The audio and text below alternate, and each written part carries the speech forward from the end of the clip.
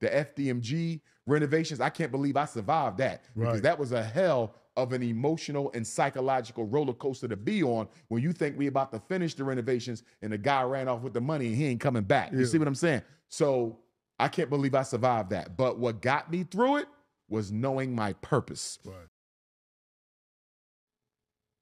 How do we make black independence realistic and normal to our black children, especially our black boys? Seeing is believable. Mhm. And without the example, there would be no repli- no replication. Mhm. You see, the reason why they want to be athletes and entertainers, that's all they see. All the black professional men have abandoned the inner city for a life in a white suburb. You understand? Mhm. Some of them have moved to a black suburb. But guess what? The children who are the most vulnerable, those are the impoverished black boys. Those middle class people are not coming back to save them, although they may come back to hustle them if they can get some grant money for it. You understand? But true service that's given from the heart, you don't see a lot of that going from black boys to black men. Excuse me, from black men to black boys Right. or from black women to black girls. We have lost the spirit of service and charity mm-hmm. in the black community. We've lost it. When you go back in our history, we come from a tradition of self help societies. Right. We had black self help societies all over the country, all over the world. That's how we got buried. That's how the babies were born. That's where the life insurance came from. That's where the uh, community defense came from. Service organizations. We don't have service organizations. You got intellectual masturbation camps and religious cliques disguised as service organizations, but they take more than they give. I got you. Um, so let me ask you this: um, Mhm. when it comes to black relationships, again, you'll see a lot of uh, you'll see a lot of couple. Right now, it's a thing. You see a lot of couples championing couples therapy and things like that. But I've noticed it's a lot of people who put the relationship before themselves. Like they've they've let the relationship define who they are. Do you feel like individual therapy should pre should come before couples therapy? Do you feel yes, with yes, couples. because a lot of what we call relationship problems are really individual pathologies and traumas that are spilling over into the relationship. Mm-hmm. If I was an unhappy person before I started the relationship with that sister, this is not a relationship problem. It's me. You understand?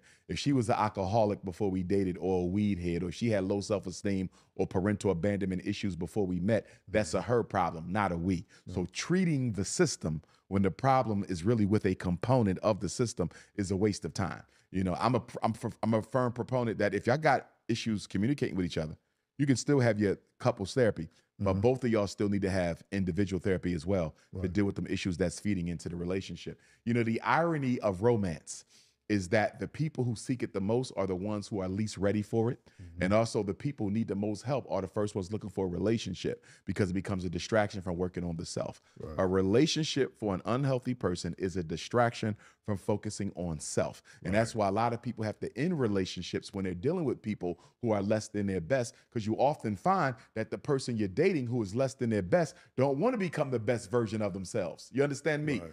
Me being in this relationship with you is for you to co-sign this. This is supposed to be a codependency. I wasn't looking for growth. I wasn't looking for you to make the best version of who I am. I was simply wanting you to validate this. Mm-hmm. You understand? So oftentimes when you're in a relationship with a dysfunctional person, you have to leave it because you realize they just wanted a codependency. Right. They wanted you to co-sign the alcoholism. Yeah. Give them excuses for continuance. You understand? Yeah. Give them co- excuses for continuing. If you somebody about becoming your best person, you better make sure the person you s- settle them down with is also interested in being the best versions of themselves. Because somebody trying to be God and somebody content with being the devil cannot coexist in the same space and time. That's a fact. I look at you, Dr. Umar, and I look at the strides you made and just the vision and purpose that you have for our people. You hadn't seen that in a long time. How do we protect you, Dr. Umar? Uh, I mean, I have my security. You know, wherever I go, I have security there. Outside of that, I like to travel solo often.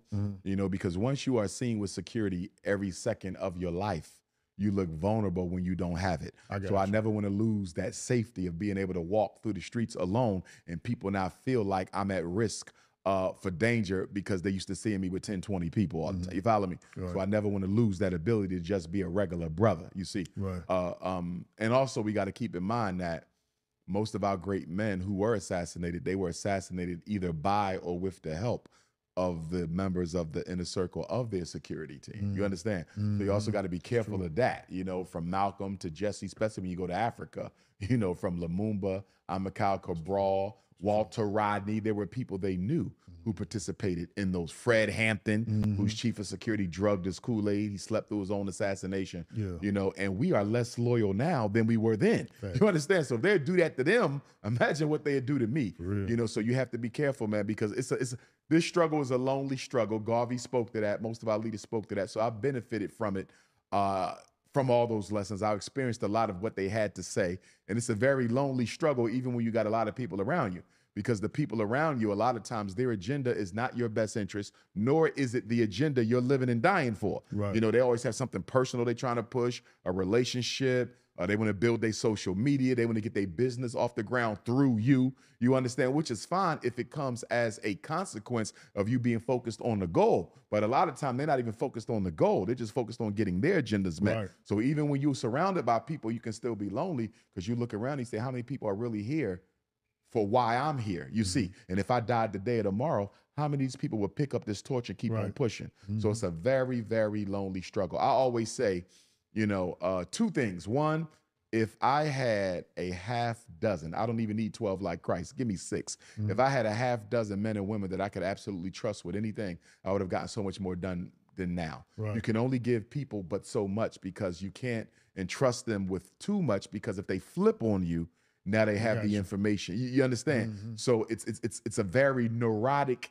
existence. You know, the Honorable Marcus Garvey said, when I meet somebody who's good, I got to try to get as much out of them as I can Mhm. before they flip on me. And it's a Right. shame. Right. You know, I met an attorney one time that says whenever she does contracts for uh, black musicians, rap groups, singing groups, bands, she always does a separation clause, even if they don't ask for it. She Mhm. says, if we don't do a separation clause, I can't represent you. Right. I said, why? She said, because with unfortunately with black people, it's not a question of if they're gonna break up, it's when. Right.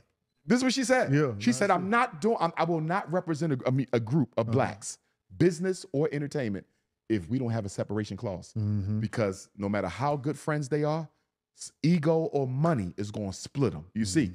And so when I'm working with people, I got to keep in my mind that one day he may be my worst enemy.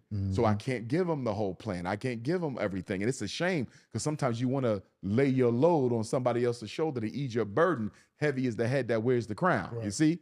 But unfortunately, you can't do that. Mhm. But you are sustained in this work, as I think the ancestors were, by the fact that you know that you were born to do it.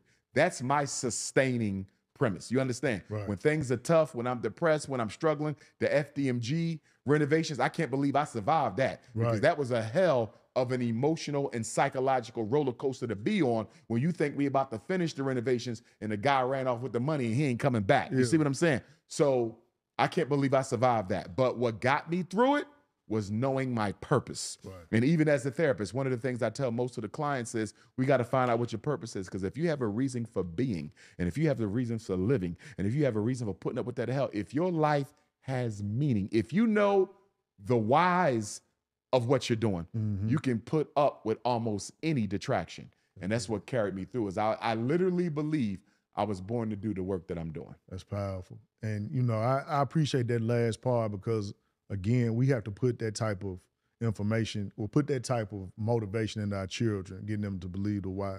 Uh, Dr. Umar, Dr. Umar, it's been a pleasure. Yes, sir. Uh, if you would, for those who don't know, if you would Yes. let people know how to, you still taking donations? Oh, right? absolutely. Okay. We got to fund the operations. Yeah. Brothers and sisters, please support the Frederick Douglass Marcus Garvey Academy. Hit your Cash App, dollar sign FDMG School. That's cash.me slash dollar sign FDMG School. Hit your PayPal for my international Africans in particular, paypal.me slash FDMG Academy. So again, it's FDMG School on the Cash App, FDMG Academy on the PayPal. And if you want to mail in your donation, P.O. Box 9634 Wilmington, Delaware. P.O. Box 9634 Wilmington, Delaware 19809. You can also go to drumarjohnson.com, D R U M A R J O H N S O N. Dot com, and you can click directly on the links to make your donation. You can also click directly on my social media. Unfortunately, these Negroes and ninjas have created so many fraudulent cash apps,